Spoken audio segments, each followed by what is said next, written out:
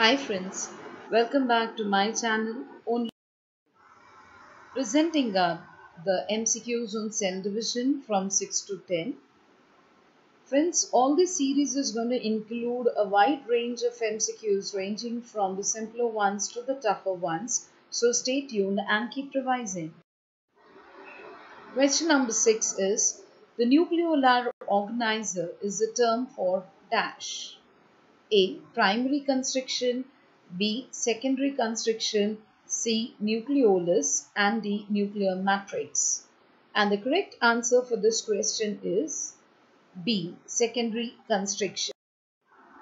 The next question is Meiosis has evolutionary significance because it results in dash.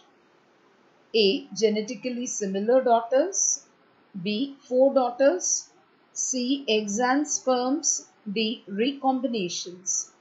And the correct answer for this question is D. Recombinations. The next question is each chromosome at anaphase stage of bone marrow cell has dash. A. Two chromatids. B. One chromatid. C. Several chromatids. D. No chromatids. And the correct answer for this question is B. One chromatid.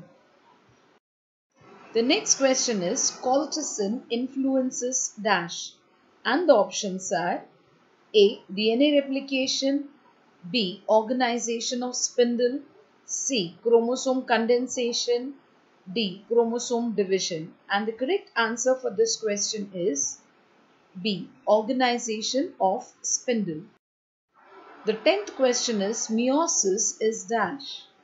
A. Equational division B. Multiplication division C. Disjunctional division D. Reductional division and the correct answer for this question is D. Reductional division. Hope you like this. Do comment. Subscribe if you haven't. Thank you.